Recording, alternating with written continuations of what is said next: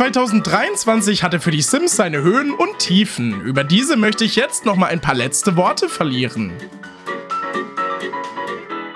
Zum Zeitpunkt dieser Aufnahme sind es nur noch 10 Stunden bis 2024 anfängt. Ich bin echt der Meinung, dass 2023 so viele Überraschungen und Highlights hatte, aber auf der anderen Seite dann auch wieder ein paar Lowlights, die die Freude in diesem Jahr natürlich auch wieder so ein bisschen gedämpft haben. Es war wirklich deutlich spannender als die letzten Jahre auf jeden Fall.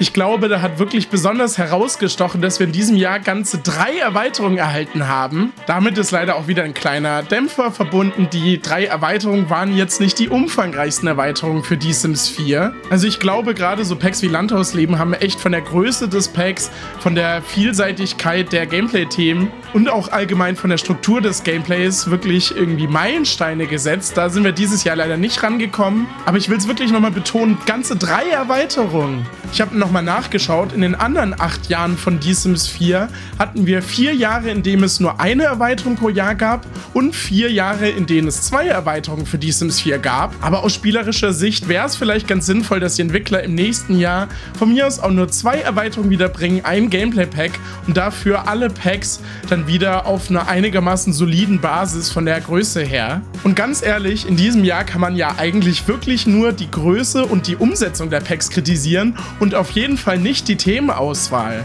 Ich glaube, es kommt dann wirklich vor, dass man am Ende des Jahres gar nicht mehr so genau weiß, was am Anfang des Jahres passiert ist. Aber man muss es nochmal so sagen, es gab eine Erweiterung, die sich explizit um das Familien-Gameplay gekümmert hat. Ein sehr großer Community-Wunsch. Viele aus der Community dachten ja, dass es dann mit Elternfreuden abgehakt ist, dieses Thema, und dass die Entwickler sich da nicht nochmal dran setzen werden. Ist dann aber mit Zusammenwachsen doch nochmal passiert. In dem Schritt wurden Säuglinge ins Spiel gebracht und dann natürlich noch Pferde in diesem Jahr. Also ich glaube, themenmäßig war da irgendwie für jeden einigermaßen was dabei. Wo wir gerade bei Überraschungen waren, ich kann es immer noch nicht glauben, dass die Accessoire-Packs in diesem Jahr zurückgekommen sind. Ich meine, ganz ehrlich, nach einer zweieinhalbjährigen Pause mit den Accessoire-Packs ist es, glaube ich, auch relativ legitim zu denken, dass die Entwickler dann mit den Sets die Accessoire-Packs abgelöst haben. Und ich bin auf jeden Fall mehr als nur gespannt, wie im nächsten Jahr so die Frequenz aussehen wird, in der die Accessoire-Packs so veröffentlicht werden. Von mir aus könnten sie auch die Sets komplett beenden und einfach nur mit den Accessoire-Packs weitermachen.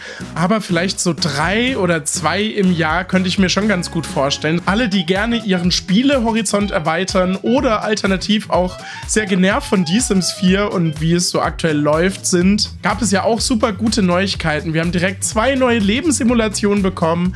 Einmal Live by You und Insoy wurden vorgestellt. Bei beiden stecken riesige Teams dahinter, die an den Spielen sitzen und wir werden wahrscheinlich auch schon im nächsten Jahr dann die Spiele aktiv spielen können. Live by You dann eher im Early Access. Ich wollte es an der Stelle auch nochmal betonen. Ich finde es so witzig, wie die Sims eigentlich so bis vor vier Jahren absolut gar keine richtige Konkurrenz hatten. Ob die Entwickler dann da auch ein bisschen Gas geben und merken, okay, vielleicht könnte die Konkurrenz den Sims dann auch ein bisschen gefährlich werden, was ich auch irgendwie hoffe. Zum Jahr 2023 habe ich natürlich auch euch ein bisschen nach eurem Feedback gefragt.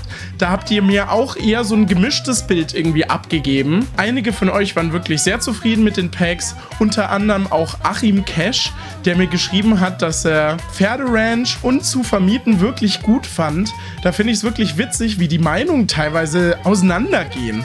Bei meiner Meinung nach waren das wirklich die schwächsten Erweiterungen so in diesem Jahr. Ich glaube, dass sich viele von euch einfach immer schon freuen, wenn es ein gewünschtes Feature wirklich dann in The Sims 4 schafft und ihr dann gar nicht so den Wert drauf legt, wie es genau umgesetzt ist, was ich ja auch irgendwie verstehen kann. Ich muss auch ehrlich sagen, ich bin ja auch oft negativ mit den Packs, aber irgendwie ist es auch ganz schön, mal so eine positive Rückmeldung zu den Sims zu hören. Deswegen freue ich mich natürlich auch, wenn ihr mir mal nicht zustimmt und dann eure positive oder vielleicht, wenn ich positiv bin, negative Meinung in die Kommentare schreibt. Marv Block hat mir noch so ein bisschen das Feedback gegeben, dass er sich sehr über die ganzen Fehler in The Sims 4 aufregt. Kann ich auch sehr nachvollziehen. Irgendwie ist es schon spannend, dass diese Thematik eigentlich seit dem Basisspiel, konkreter wahrscheinlich so ab 2016, wo die Fehler gefühlt irgendwie mehr geworden sind, bis heute irgendwie mitschwingt. Die Entwickler scheinen einfach nicht so den Wert darauf zu legen, gravierende Fehler schnell zu beheben. Ich habe auch manchmal das Gefühl, dass in den Patch Notes eher auch so ganz viele kleine Fehler, die eigentlich nicht so viele Spieler betreffen, behoben werden. Vielleicht sind die dann auch irgendwie einfacher zu beheben und deswegen werden sie schneller behoben. Aber da fand ich an der Stelle seinen Vorschlag auf jeden Fall sehr cool. Er hat sich überlegt, wenn man Fehler in die Sims 4 direkt einreichen könnte, es gäbe quasi eine Ticketfunktion, mit der man Bugs kurz beschreiben kann. Sehr gute Idee, sollten die Entwickler auf jeden Fall sich mal dran setzen, das so zu integrieren. Vielleicht wäre es irgendwie auch mal ganz erfrischend, wenn die Entwickler mal zwei Monate gar nicht an irgendwelchen Packs arbeiten würden, sondern in dieser Zeit einfach Fehler beheben. Aber so viel zu 2023. 2024 steht kurz vor der Tür. Am Anfang werden wir natürlich eine neue Roadmap erhalten. Es ist ja mal wieder Zeit. Wir haben ja auf jeden Fall schon Bestätigung, dass Anfang des Jahres zwei neue Sets erscheinen werden.